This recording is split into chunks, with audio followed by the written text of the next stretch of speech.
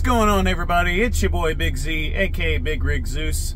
I said in my last video that I was going to figure out how to get my microwave into this cabinet, and for educational purposes, for all you drivers that have a 2011 to 2017 truck still, like I do, I'm going to show you how to do that.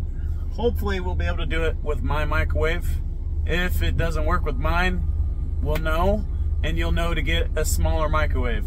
This is the smallest one that I think was at Walmart. There might be one that's slightly less wide.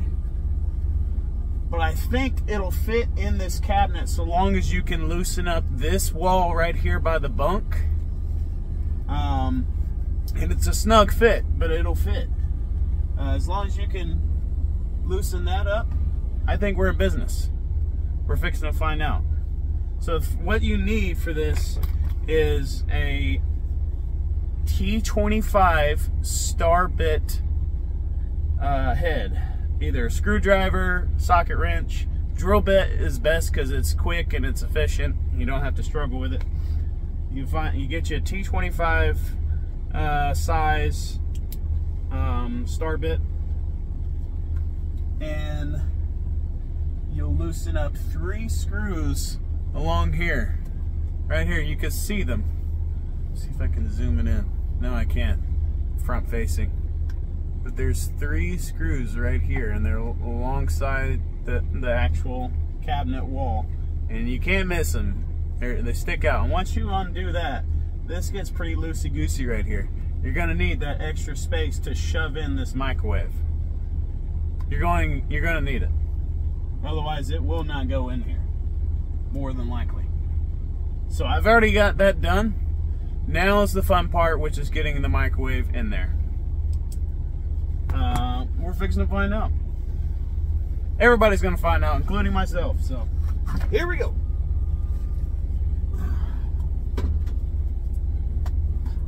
Now, if I can get it to fit in there, I'm going to be drilling a hole along the side of the cabinet as well. I'm going to drill a hole along this side right here I got big shoulders. Along this side here so I can feed my power cord through there and down to my power inverter. And I don't think the cord's long enough to reach, but it might. And if it doesn't, I have an extension cord that I'm gonna feed to it as well. That way it all works nice and flush and pretty and all that. So the fun part is finding out whether or not the, mic microwave's gonna fit. And if it does, then I'm gonna drill a hole. I'm not gonna shove the microwave all the way in there. Just gonna see that it's gonna it's gonna clear these edges right here on the on the on the cabinet.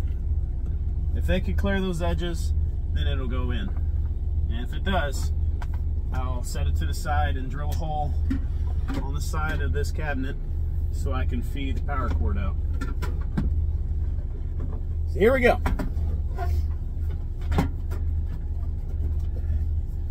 Doesn't look promising just yet, but let's just give it a little budge.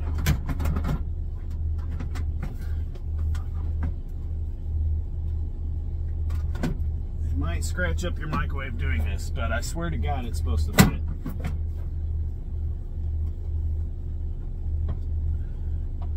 Okay. Doesn't look like it yet. That doesn't mean anything. That just means we have to do a little bit of construction here. Then it might, then again, it might actually fit, and I just got to push a little bit harder. Let me give it another push and see.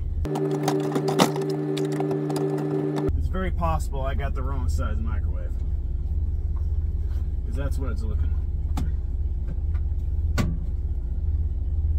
like. You know what? It might fit if I got this off of here too. Okay. One second. Where's my flashlight at? So there's a locking mechanism, hinge, whatever you want to call this right here, that the cabinet clicks in and closes. You probably have to take that off too. And I believe that is also a T25 bit. Where'd the drill go? All right. get that off real quick. Okay. Let's give it another shot here.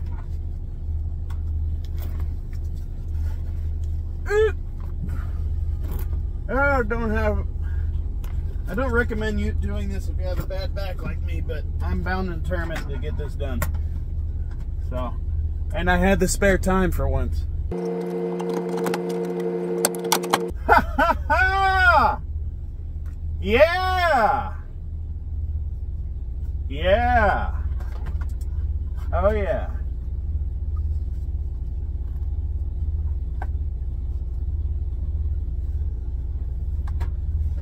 Holy shit, I can't believe that worked.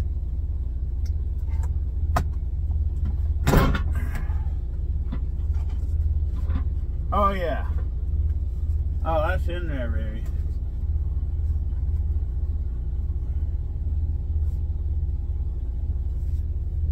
Now the real question is, can you get this back out? And I'm sorry.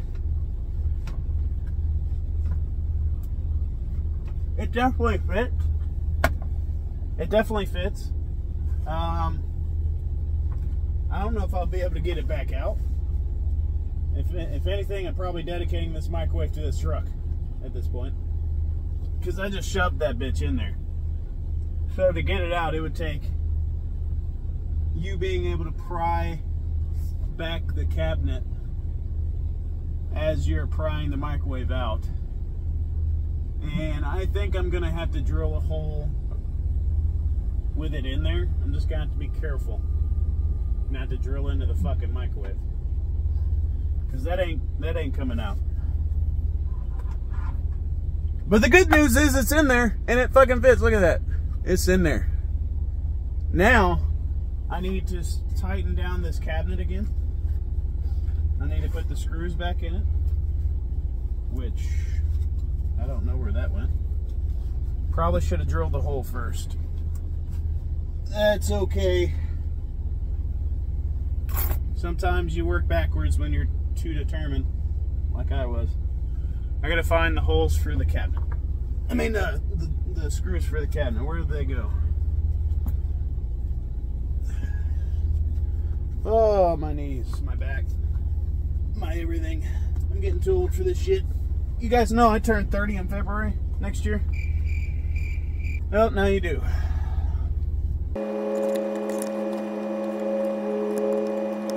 Okay. Uh, yep, I'm probably gonna have to crawl into the, the, the bunk here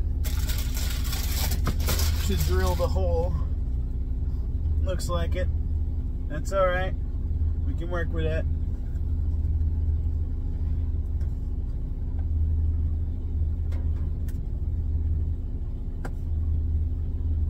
Just want to make sure you don't want to drill any holes in anything else.